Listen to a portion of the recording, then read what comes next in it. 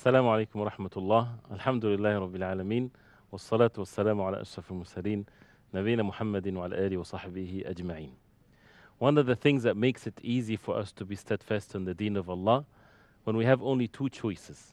One choice is the perfect one and the other choice is the worst thing ever. Makes it easy that it's only one path, one way. Allah subhanahu wa ta'ala says in the Quran فَإِن لَمْ يَسْتَجِيبُوا لَكَ فَاعْلَمْ أَنَّمَا يَتَّبِعُونَ أَهْوَاءَهُم which means if they do not respond to you, O Muhammad sallallahu then have the knowledge and certainty that they are following their desires. So it's either way, either this or that. Either to respond to the Prophet sallallahu either to follow the way of the Prophet sallallahu or the person is following their desires. What's the outcome of following one's desires that opposes the way of the Prophet sallallahu? Subhanahu wa ta'ala says, وَمَنْ أَضَلُّ مِمَّنِ اتَّبَعَ هَوَاهُ بِغَيْرِ هُدًى مِّنَ اللَّهِ Who is the worst deviant than someone, that means he's the worst deviant, the one that would follow his desires, opposing the guidance from Allah subhanahu wa ta'ala.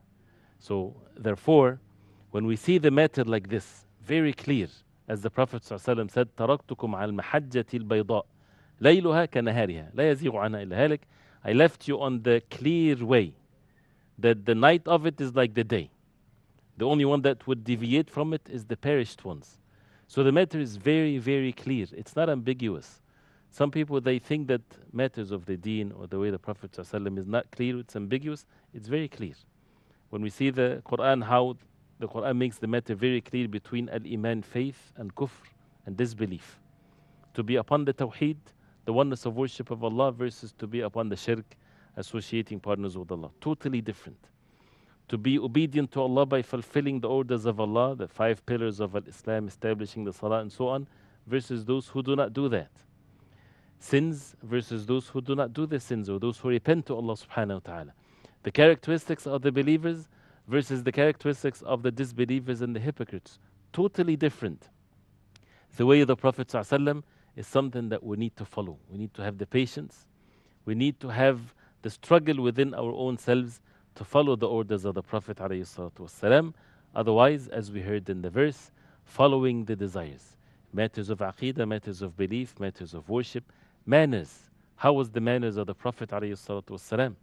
How did the Prophet ﷺ deal with those who would harm him or those who would say harmful things to him and so on? Something that we need to learn the way of the Prophet ﷺ.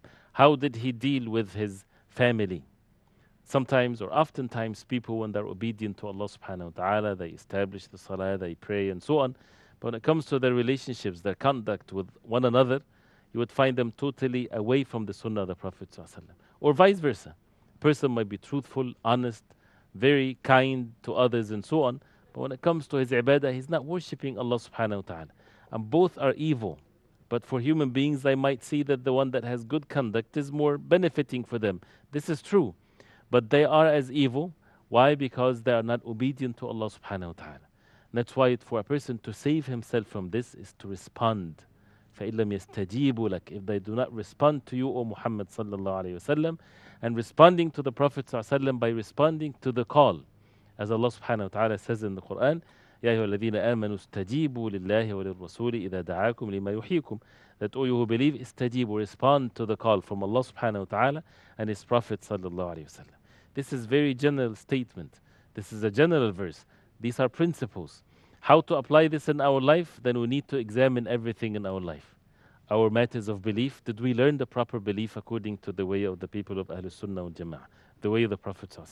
If the answer is we did not learn it, we just found ourselves having these types of beliefs, we need to give the time to learn. Are we making our salah according to the way of the Prophet ﷺ? Are we knowing the portions in our wealth that we're supposed to give for the sake of Allah according to the way of the Prophet? ﷺ? Are we getting married according to the way of the Prophet? ﷺ? Over 100 chapters of sub chapters in the chapter of a nikah or marriage in Sahih Imam al Bukhari. Rahimahullah. How many of us read these chapters before we get married? It's knowledge that we need to know, to know how to get married, how to live, uh, to conduct our life as husbands and wife the rules of divorce and so on and so forth. Either to follow the way of the Prophet ﷺ or a person would follow his desires. And there's nothing worse than following our own desires. It's all kinds of evil comes as a result of that. We ask Allah subhanahu wa ta'ala to make us among those who follow the way of the Prophet sallallahu alaihi wasallam. وصلى الله وسلم وبارك على محمد وعلى آله وصحبه وسلم والسلام عليكم ورحمة الله وبركاته